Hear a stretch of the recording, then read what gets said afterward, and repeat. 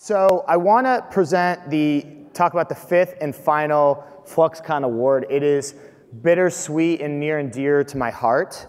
Um, it is the award for exceptional grantee experience. Um, so this foundation, uh, like I said, is near and dear to my heart. Um, they have done a fantastic job this year. They created customer service SLAs.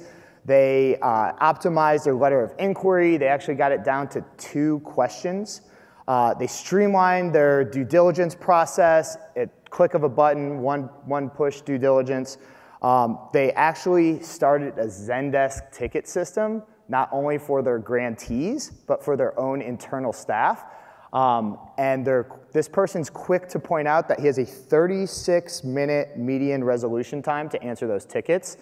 Um, so that award goes to Knight Foundation. So uh, Chris and Sydney, if you can stand up.